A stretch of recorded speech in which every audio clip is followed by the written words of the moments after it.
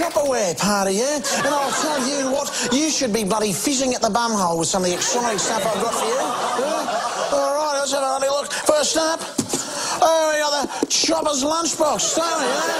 Oh, look, Chopper's on the lid. Hello, Chopper. Hello, mate.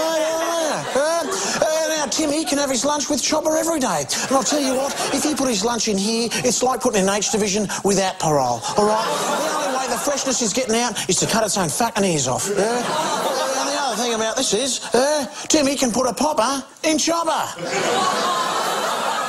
Uh, up next we got Chopper's knife set. And have a look at this bastard. I call it Chopper's Chopper. All right, here we go. Uh, this will scare the shit out of drug addicts, right? Uh, in fact, we'll try it out on this little fella here. I call him Neville Tomatoes, yeah? You don't want me to turn you into a healthy, delicious salad the kids will love? Oh, very rude, Chopper. Very fucking what? Oh. He must fucking hate me. Uh, uh, but uh, if you really want to scare three shades of shit out of your veggies, what you need is Chopper's kitchen bolt cutters. Uh, if you're tired of crying when you cut an onion, it's time to watch the fucking onions cry for mercy when you cut them, right?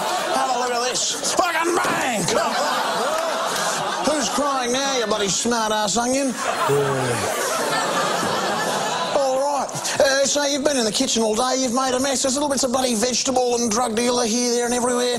What you need, ladies, is Chopper's all-purpose, hey presto, off you, fucking pop stain remover, right? This little fella will do. It will get blood off bloody kitchen counters and cooktops and stove tops. It'll even get blood off blood, right? What it basically does is it says to hard to remove stains, fuck off.